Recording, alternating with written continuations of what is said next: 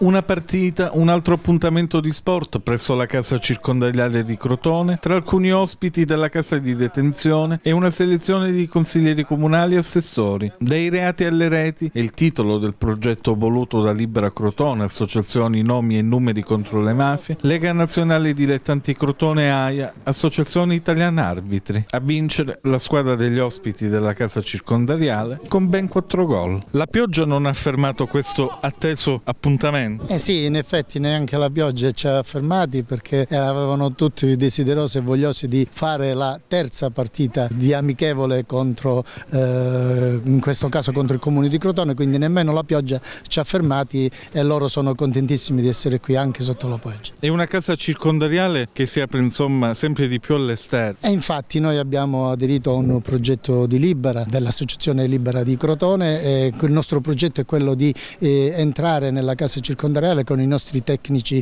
eh, specializzati e fare eh, diciamo così, degli allenamenti settimanali. Siamo all'interno del CAS circondariale già da luglio, abbiamo già fatto tre incontri eh, ufficiali di amichevoli eh, e andiamo avanti con questo progetto con l'intenzione di cercare di ehm, eh, far redimere questi eh, ragazzi una volta usciti da, da questo contesto brutto. Insomma. E poi c'è sempre questo prezioso contributo dell'AIA, ma io inizierei così, partita bagnata, partita fortunata. Sì, buongiorno. Allora, per noi diciamo una partita bagnata o partita con il sole cioè, fa poca differenza. Settimanalmente siamo sempre in campo a svolgere il nostro dovere. Partita fortunata sì, perché sono quelle gare queste che ti riempiono soprattutto d'orgoglio, ti fanno stare bene indubbiamente. Cosa si augura l'AIA insomma per questo 2024? Non solo regole e campionati, ma anche il contatto stretto con il territorio, con la società civile. Eh, diciamo che da sempre l'Associazione Italiana Arbitri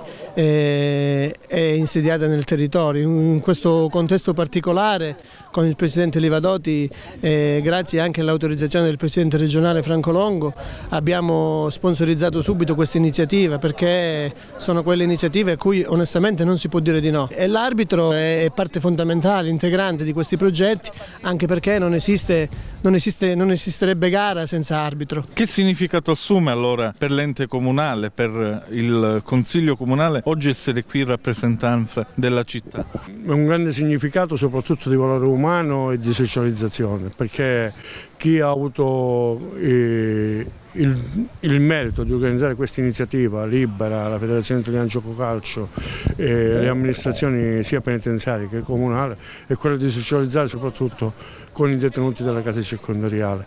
È una giornata diciamo, per loro di festa, per noi soprattutto di stare vicini e dirgli di misurarsi nella vita e di quando finiscono di, esp di espletare la loro, la loro pena di capire che la vita è fatta di cose belle e che naturalmente si può sbagliare, poi si può migliorare tanto e molto nella vita. Insomma, prima di essere qui vi è stato allenamento? No, assolutamente cerchiamo di non lasciare nulla al caso, nel senso che le cose che facciamo le facciamo bene perché comunque è un progetto sia tecnico che formativo, quindi eh, tutti e due gli elementi devono viaggiare insieme, per cui, ma non solo qui, in tutti i campi si deve cercare di crescere sotto il profilo tecnico ma anche umano e educativo.